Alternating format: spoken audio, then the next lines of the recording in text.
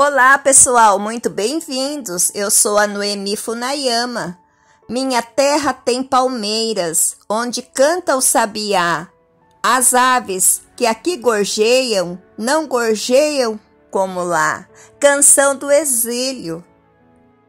De autoria de Gonçalves Dias. Então, pessoal, eu quero mostrar para vocês as palmeiras que tem aqui no nosso país, Brasil, a terra das palmeiras. E essa maravilhosa é a ráfia, como todos nós já conhecemos. E esta tá em plena floração. Olha que belezinha, pessoal. A rafis é uma palmeira de meia sombra e ela é muito lenta em seu crescimento, mas quando se desenvolve, dá frutos, como a maioria das palmeiras. Então, elas são das famílias angiospermicas que dá frutos. E os sabiás agradecem porque eles se alimentam desses frutinhos. A palmeira rafis ou ráfia, como queiram, ela fica bem ornamental dentro de casa, porque ela suporta a meia sombra e a sombra. Esta está na varanda e olha, pega sol a parte da tarde. Nem por isso ela está feia, está bem bonita. Porém, as suas folhas ficam mais claras. Já dentro de casa, as suas folhas ficam em tonalidades bem mais escuras. Ficam verde bem bandeira, aquele verde da bandeira do Brasil. Para compor jardim, sempre será necessário colocar palmeiras, porque o nosso clima é tropical e subtropical, então é necessário que elas façam uma meia sombra para as demais plantas, como esta cica. Olha, ela fora de casa, a sol pleno e também dentro de casa. As palmeiras, na meia sombra, elas ficam com tom mais verdes. Essa é a grande diferença, mas elas se adaptam a sol pleno. São raras, né, as exceções de palmeiras que tem que ficar à sombra, mas existem, pessoal. Às vezes elas não são adaptáveis porque vieram de outro local, mas elas são lindíssimas também. Como esta palmeira chamedória, ela não suporta sol pleno.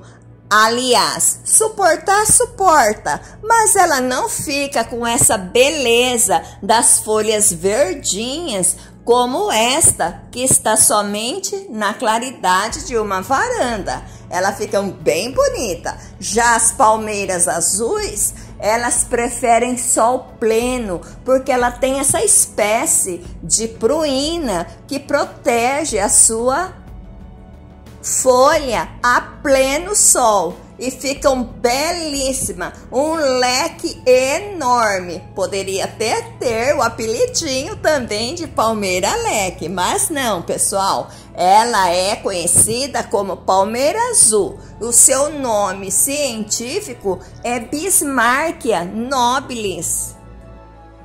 Eu sou apaixonada por essa palmeira e ela é carro-chefe do meu canal. Foi por causa de uma palmeira como esta que eu resolvi criar o canal, mostrando como era o meu sonho de possuir uma palmeira azul e se desenvolveu o canal e as sementes que eu trabalhei.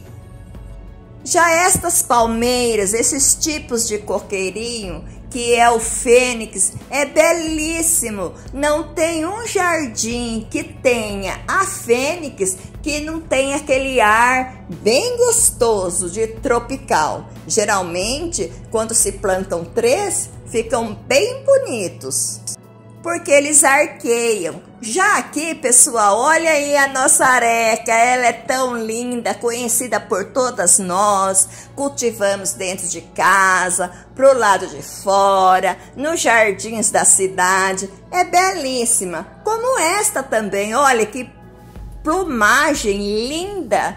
É a rabo de raposa. Olha, um coqueiro belíssimo, uma palmeira linda. E você gosta também de palmeiras? Se você tem alguma, deixa aí no comentário falando qual a espécie que você cultiva. Quem sabe assim incentiva muito mais pessoas a ter essas lindas meninas em suas casas.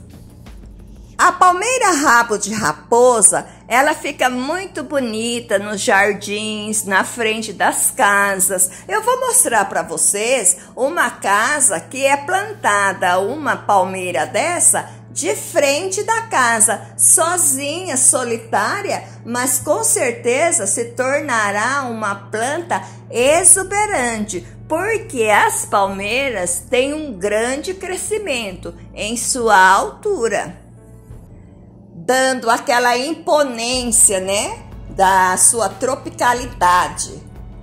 Ao longo do tempo, ela vai criando esses, esses gomos no caule, mostrando a sua idade. Cada ano é um gomo. Olha aí, pessoal, na frente da casa. Olha que bonita que está. Imagine esta palmeira daqui uns anos, como ela estará altíssima. Aqui Estamos na chácara do senhor Capixaba. Ele também tem a palmeira rabo de raposa. E na meia sombra, em meio à natureza como essas mudas pequenas, elas ficam bem verdinha, mas elas suportam sol pleno. Olha que bonitinha que são suas folhas quando estão pequenas, né? E elas vão crescendo, vão ficando belíssimas. Já esta é a palmeira imperial.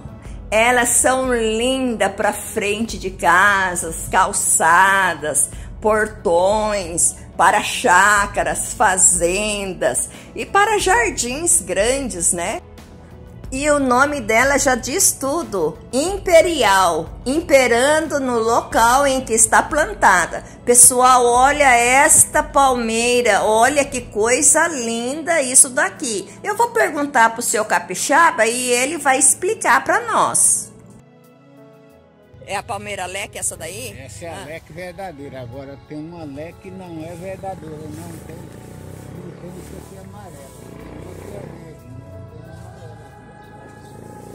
Essa é a. Essa daí é a verdadeira palmeira. É, essa aqui é a verdadeira leque. Agora tem uma que é verde não tem essa rodinha amarela. E aquela uma que ela é toda podada aqui assim, parece uma sombrinha do japonês. Sabe qual que é? Que eu tô falando? Que o povo fala que é a leque também. Sim. Que é a licuala.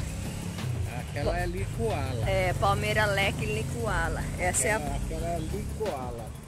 Aquela cara que é o caramba. É. Vocês ouviram, pessoal, o produtor falando que aquela é a palmeira leque verdadeira, porque tem um miolinho amarelo. E esta daqui também é uma palmeira, tipo leque, mas esta não tem o miolinho amarelo, olha. Esta é a palmeira Bismarck é mexicana, não é a palmeira azul, é a mexicana. Ela é toda verde, mas cresce também até 25 metros de altura. Olha que lindeza estas folhagens e o tamanho dos seus troncos do coqueiro. Que lindo que está aqui na frente deste estabelecimento. Muito bonito mesmo, eu adoro as palmeiras. E olha aqui que linda! E vejam, pessoal, muito mais mudas de palmeiras. Fica um lugar bonito, natural e fresco. Também tem esta palmeira que é chamada de triangulares. Olha o caule dela, o tronco. Fica no formato de um triângulo. Fica muito bonito conforme suas folhas vão caindo, secando, vai se retirando e ela vai ficando nesse formato de triângulo. Eu acho muito exótica e muito bonita por esse detalhe aí no tronco dela. E aqui na casa do senhor Capixaba, ele também tem mudas desta palmeira. Então nós vamos dar uma olhadinha para ver como ela é pequena, olha. Em mudas são enormes, né? Mas são mudas, ainda nem começou a formar o caule triangulares, mas é a palmeira triangular.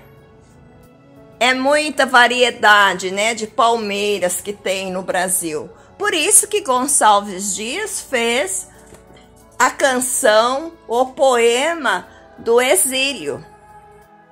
E esta muda aqui, gente, esta palmeira é lindíssima. Eu estou apaixonada por ela e quero ter uma é a palmeira ravenala, a conhecida palmeira do viajante. Lindíssima, geralmente é plantada nas, na frente, né, dos hotéis.